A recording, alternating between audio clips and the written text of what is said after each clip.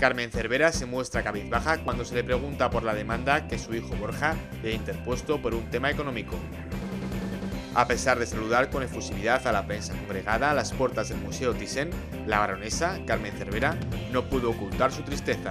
Hoy desayunábamos con la noticia de que Borja demandaba a su madre por un tema económico, una nueva guerra que lo mantiene separado.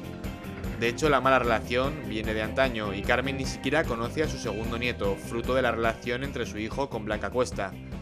Tras una reunión en el museo, en la que asistió doña Pilar de Borbón, Carmen se fue a comer a un conocido restaurante de la capital.